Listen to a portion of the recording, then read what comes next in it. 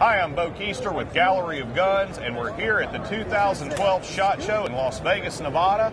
And we're joined by Doug Campbell here at the Colt booth, and he is going to show us the new Colt Superstock, which is standard on select models. Doug, tell us all about it. All right, let me show you the Superstock from Colt. Basically, it has a uh, detent points like uh, several other stocks that have been out on the market for some time. Uh, the tolerance on the receiver extension is, is very fine, so there's a little more resistance on the receiver extension.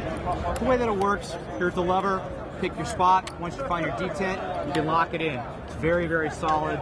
There's no play. But the other uh, uh advantage of this stock is there are some times that you may need a length of pull that's in between a detent point on this stock. So what I'm going to show you is putting it in between a detent point.